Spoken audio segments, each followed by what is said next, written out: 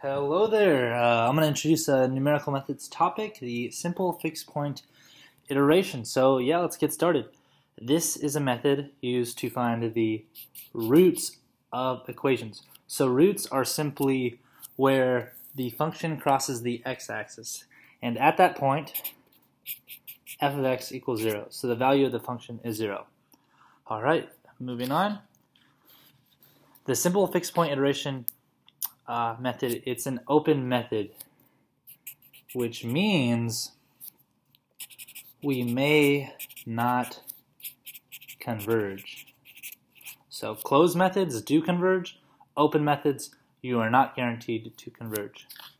So for the simple fixed point iteration, what we're going to do is separate our function f of x. We're going to separate it into two parts. All right, and why we're doing this will become clear in just a second. So then what we'll do is we'll set f of x equal to 0 and g of x equal to x. And you might be wondering, why are we doing this? Okay, so we set f of x equal to 0 because we want to find out the root where the function equals 0.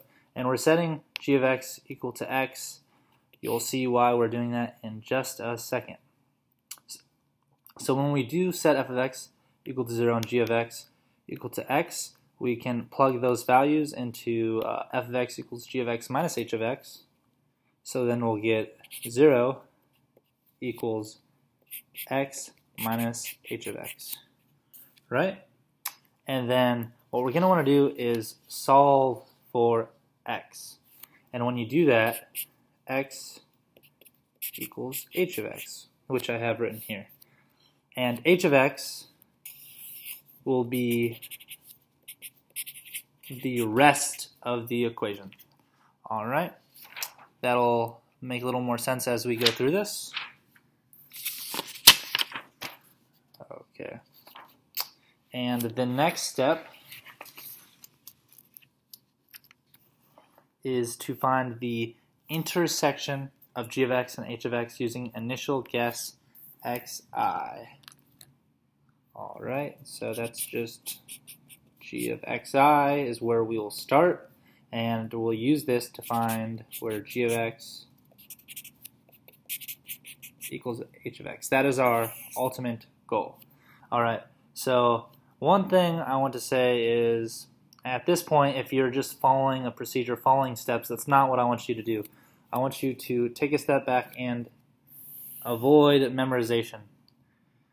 And the reason we want to do this is because there's some things that you can't avoid memorizing, like formulas and such, but there are some things you can understand, and understanding will hopefully make the steps a little bit easier, and the process should make a little bit more sense as you're doing this.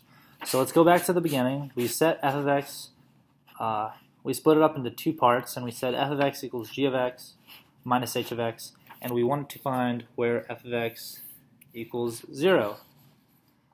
And that happens when g of x equals h of x, because when we split our function into two parts, what happens when these values are equal? That is where f of x equals 0 and that is where we will find our root. And g of x equals h of x, that happens at the intersection. So whenever you plot g of x and h of x and you find that intersection point, that will ultimately give you your root. And that is why we're doing what we are doing. So to start this process,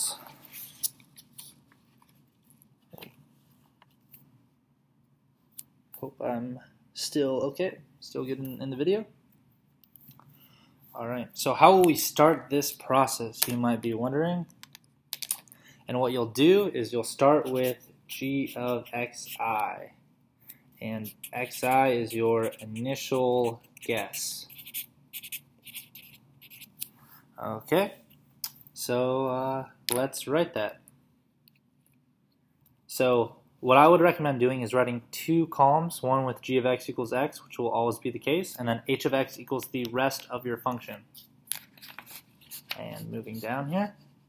So you'll start with g, ooh, g of xi, and you'll get some value. I'll just use v1.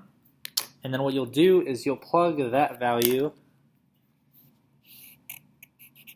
into h of x.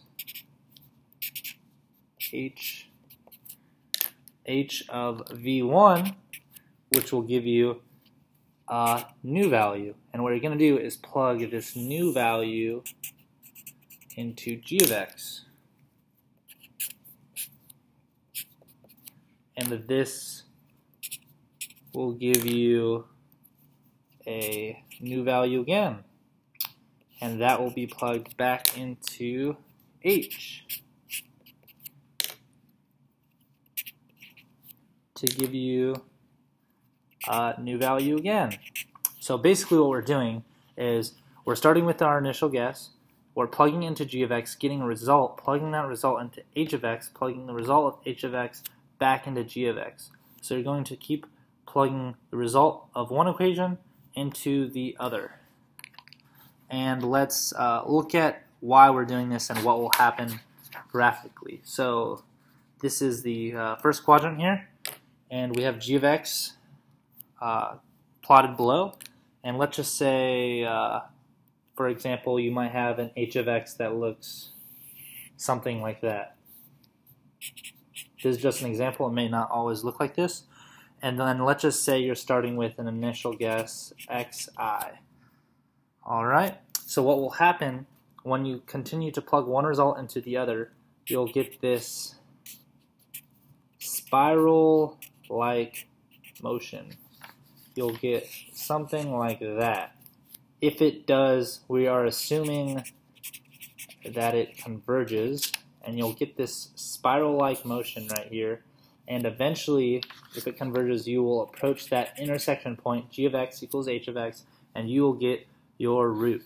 One other thing I wanted to add before we're we're practically done, but one other important point is that when you're doing this very quickly, which often you will be on uh, exams and quizzes, you can bypass g of x. So what I mean by that is we set g of x equal to x.